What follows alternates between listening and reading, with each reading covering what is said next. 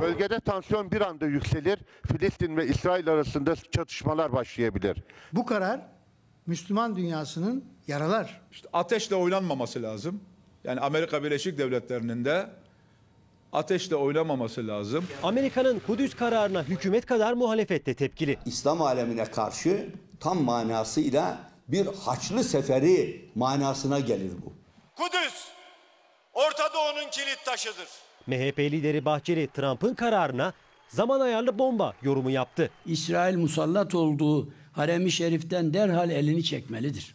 Amerika'nın Kudüs komplosu mukaddesatımızın sırtına inmek üzere kaldırılmış hançerdir.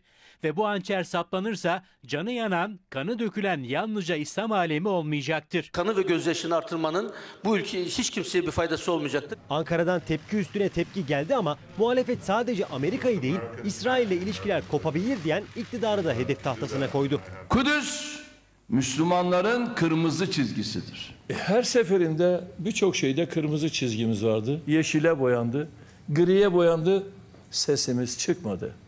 Hep bu kırmızı çizgilerde o dönüşü yaptık. Kararı alan Trump'a laf etmezken bir başka ülkeye yaptırım uygulayacağını söylüyor.